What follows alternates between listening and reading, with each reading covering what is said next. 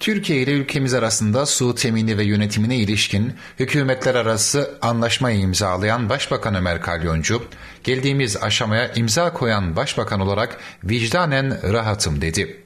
Havadis gazetesine konuşan Başbakan Kalyoncu, ülkenin su fakiri bir ülke olduğunu hatırlatarak bu anlaşma için çok uğraştık, iyi bir sonuç aldık. Geldiğimiz aşamaya imza koyan Başbakan olarak vicdanen rahatım dedi.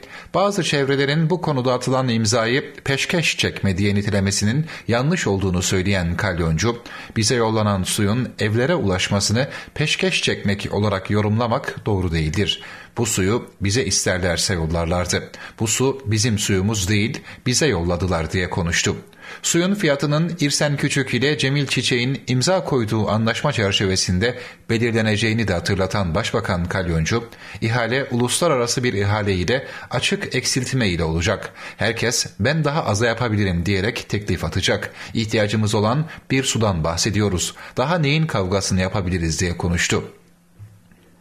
Peşkeş çekiliyor söylemi bir alışkanlık haline dönüştü diye konuşan başbakan, ihale yasaya göre belirlenecek, yasayla yapılacak bir işleme hala peşkeş çekileceği iddiası kahve dedikodusundan öteye geçmez diyerek yanıt verdi. Başbakan Kalyoncu, son noktaya kadar pazarlığın devam ettiğini, son noktaya kadar konuyla ilgili uğraşıldığını ve en son olarak da Kuzey Kıbrıs hükümetinden geçen metnin imzalandığını söyledi.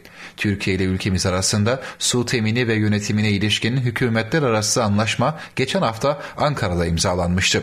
Anlaşmaya Başbakan Ömer Kalyoncu ile Türkiye Başbakanı Ahmet Davutoğlu imza koymuştu.